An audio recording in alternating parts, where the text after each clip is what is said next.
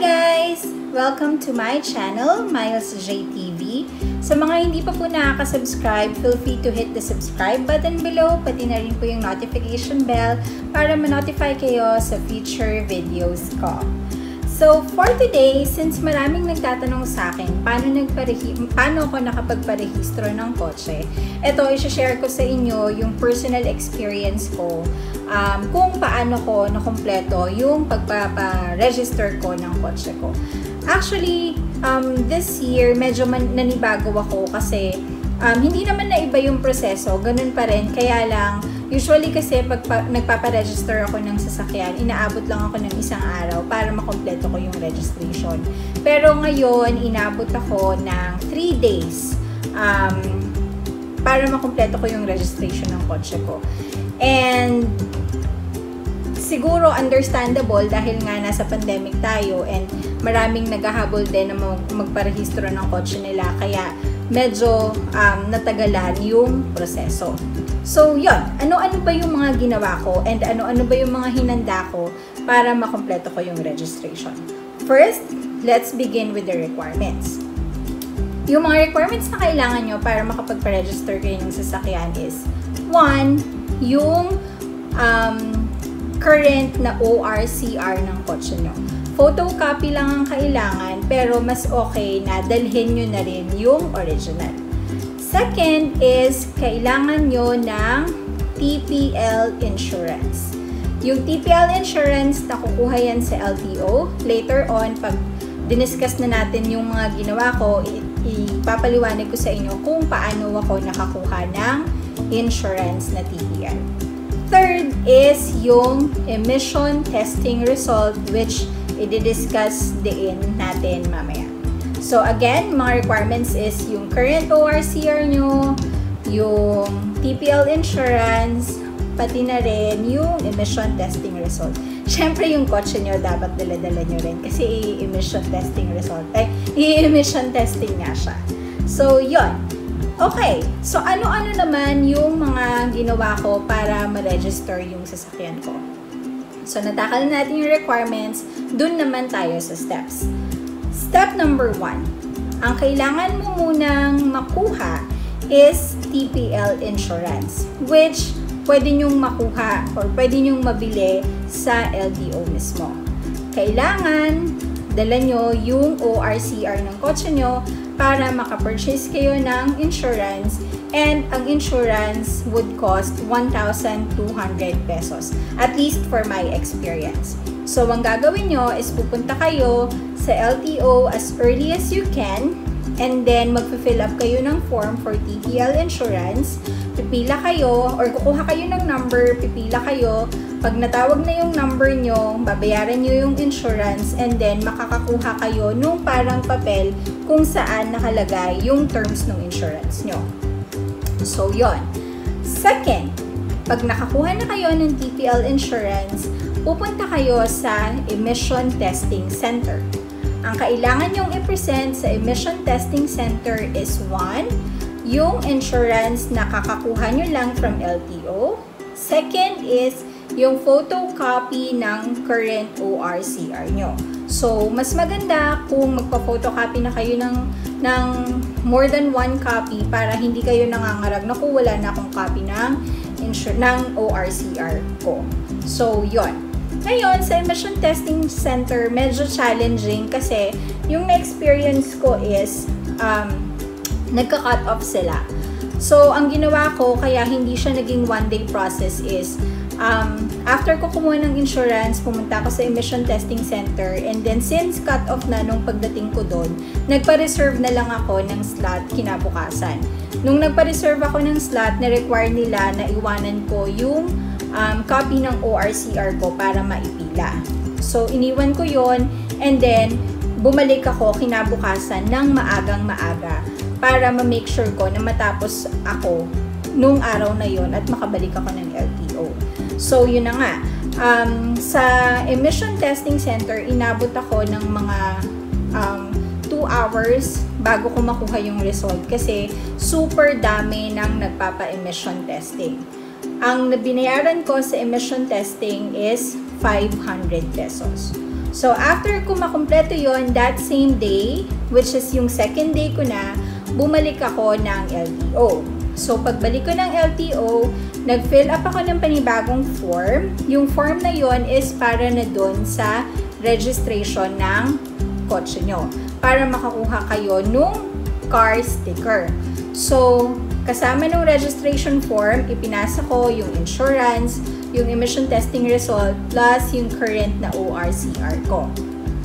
Tapos, nung pagpasa ko noon, binigyan ako ng number, inantay kong matawag yung number ko, and then, nagbayad ako ng 1,972.50. Yung amount na yon, it consists of computer fees, processing fees, yung car sticker fee, at saka yung registration fee itself. So, so since nakuha ko na yung um, bago kong resibo or bago kong OR, hindi pa doon natapos yun. Kasi sabi nung LTO personnel sa akin, wala pang available na 2020 car sticker. So, um, kukontakin na lang daw nila ako pag nagkaroon na ng available sticker.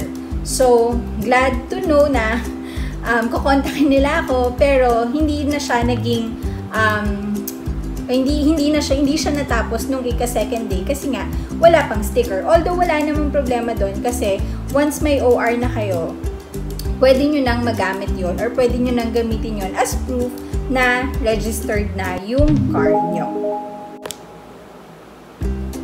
Yon. So, Nung first week ng July, kinontak naman nila ako dun sa number na niregister ko dun sa form na fill upan ko, advising me na available na yung car sticker ko. So, agad-agad naman akong um, bumalik sa LTO para makuha yung sticker. So, yun lang. Yun lang yung mga ginawa ko. Although, bibigyan ko kayo ng some tips para mas mapadali yung pagpaprocess nyo ng insurance. Since alam nyo na yung mga requirements, which is yung um, ORCR, yung current, yung TPL insurance, tapos emission testing um, result, and, and then mag-prepare din kayo mga around um, 4,000 pesos para um, hindi kayo hindi kayo mamroblema na baka mamaya kulang tapos hindi nyo pa matapos. Um, yung breakdown nun is 1-2 sa insurance, um, 500 sa emission testing, and then around 1.9 doon sa registration. By the way, yung mga presyo na sinasabi ko, um, sa price to ng si sedan na car. Um, iba yung yung presyo pag mas malaki yung vehicle nyo. Alam ko mas mahal. And then mas mura naman pagka halimbawang ipaparegister nyo is um, uh, motorcycle or yung mas maliliit na sasakyan. Ayun. And then, another thing is, paano nyo malalaman kung due na kayo for registration? Kunyari, kakabili nyo lang ng car. Um, since may first um, 3 years kayo na free, kung ano yung last digit ng plate number nyo, yun yung magde-determine ng due na, na due na kayo for registration. Kung ang last digit nyo is 1, then ibig sabihin, every January ng taon, dapat nagpaparehistro kayo. Kung 2, that is for February. And then kung 3, that's for March. Um, 4 April, 5 May, 6 is June, 7 is July, 8 is August, 9 September, and then 0 is for October. Also, pag kukuha kayo ng um, TPL insurance. Ako kasi sa LTO ako kumukuha, pero sabi nila, meron daw kayong ibang makukuhanan na mas mura. Um, I heard din na yung Cebuana, nagpa-process din sila ng um, TPL insurance na tinatanggap ng LTO, which cost around 500 to 800 pesos. Hindi ko lang sigurado kung yun pa rin hanggang ngayon kasi hindi pa ako nakakatry na um, kumuha ng TPL insurance sa Cebuana. Meron lang ako mga friends na nakatry na doon. And ganun nga yung um, costing nila. And then, another tip is, pumunta kayo doon ng super duper aga. Kasi, sa experience ko, may mga nagpaparegister na nandoon na ng 4 a.m. Kasi nga, matagal yung um, pila, lalo na sa emission testing center, lalo na ngayon na nagpa-process pa lang ang LTO ng mga backlogs. Yung mga backlogs is yung mga hindi nakapagpa-register ng March, April, May kasi nga naka-ECQ tayo. As a matter of fact, parang um, nilagyan pa nga nila ng schedule yung mga um, kotse. Halimbawa, kung due ka for registration ng March, priority ka for June. Tapos, kung April, priority ka for July. Kung May, priority ka for August. At least dun sa LTO branch na um, pinuntahan ko. Um, pero kung gusto mong magpa-register, kunyari ako May, so meron akong up until August para mapa-register yung sasakyan ko. Pero kung gusto mong magpa-register ng mas maaga, yun nga, June, katulad nung ginawa ko, okay lang din naman. Yun nga lang, magtsatsaga ka talaga sa mga, sa, sa super daming tao kasi kasabay mo yung backlogs ng iba't ibang, ng, ng March at saka ng April. Kaya ang Another tip ko sa inyo, magdala kayo ng pagkain pati ng super duper habang pasensya. Kasi kakailanganin nyo po yun doon. Okay? So, yun lang po. Um, I hope may natutunan kayo. Kung meron pa kayong ibang tips or ibang ginawa para mas mapadali yung um, pagpaparehistro nyo ng sasakyan, feel free to comment down below. And, ilike nyo na rin tong video na to. And, see you sa next videos ko. Thank you everyone! Bye!